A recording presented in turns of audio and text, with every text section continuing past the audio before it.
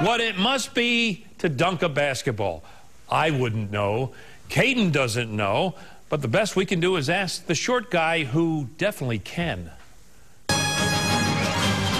He, he's a highlight reel waiting to happen. If you guys haven't seen him, I, I, I, suggest you try to look him up. The most freakish athlete I've ever been around. I mean, we're talking Blake Griffin stuff. I've never seen anything like it. I've never seen anything like it. It's not a bird, not a plane, not even Blake Griffin.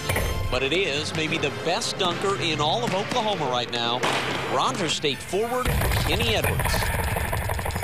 You really enjoy dunking, don't you? Yeah, I do. I mean, uh, I really love dunking. It keeps me going. It keeps me coming back for more. So it's like, you know, it's my drug. It's my addiction. Edwards' addiction started with his first dunk way back in the sixth grade.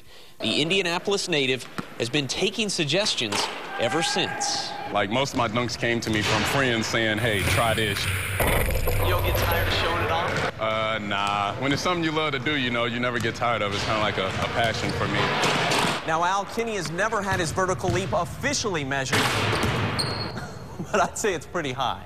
It's funny because I'm actually kind of afraid of free falling and heights. So like I don't I don't understand why I love dunking, but it's like a, a good rush for me. It's a thrill. And Edwards continues to thrill Hillcat country. I love it. You can expect one of those from him at least at least once or twice a game. And I know the crowd really likes it when I dunk and get on fast break. So you know I try to make sure I please them and give them a good show. Dominique Wilkins has nothing on Kenny Superfly Edwards. In Claremore, Kate McFarland, 2 News works for you.